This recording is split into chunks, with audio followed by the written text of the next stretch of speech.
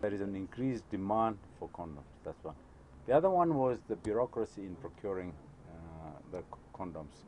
So we thought we would be having uh, uh, condoms coming in as our condoms were getting finished. Because remember one thing, when you are having condoms in stock, they occupy a lot of space. So what happened was our condoms got used up very quickly, and there was a delay in uh, procurement. So two things happened. Uh, the wrong things happen at the at the right times, leading to uh, stock out of condoms. Well, it may be one person using it five times. All right. So, uh, getting me, it's not a question that it's all those people. It is one per certain groups will be using it every day, right? One person. Collaboration with uh, the UNFPA to supply us uh, about 180 million condoms. Now, they delivered about 19 million condoms in January that we have been able to distribute um, over the last one and a half months.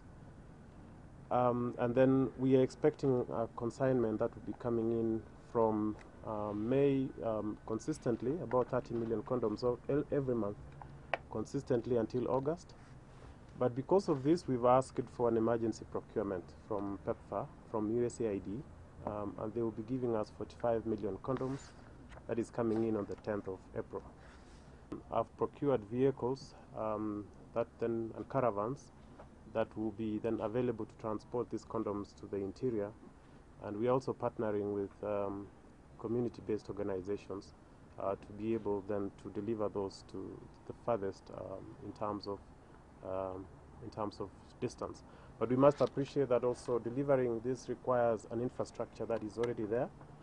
We know we have a geographical access. We need roads. We need uh, other systems in place, and those are the challenges that we face.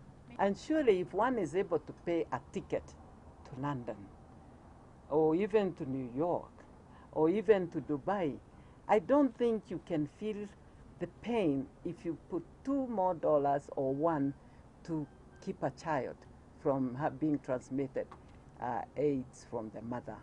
Uh, it makes sense to us.